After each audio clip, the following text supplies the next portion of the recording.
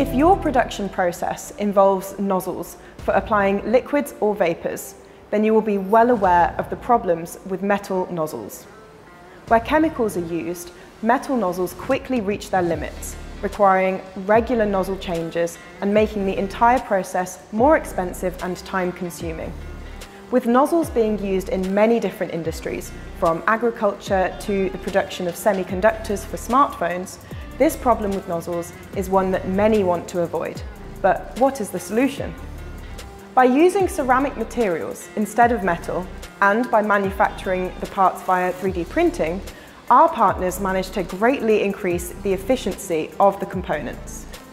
Thanks to the greatly improved chemical resistance of the ceramic material against the aggressive vapours, the life cycle of the nozzles was extended considerably, and the entire process was sped up as the machines needed far less downtime.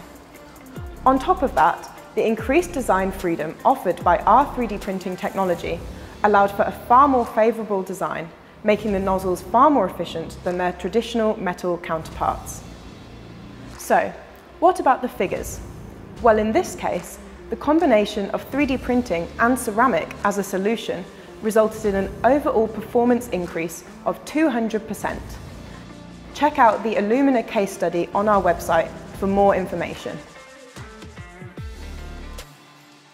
As the global market and quality leader in ceramic 3D printing, Lithoz is strongly driven by the potential of innovation in every industry.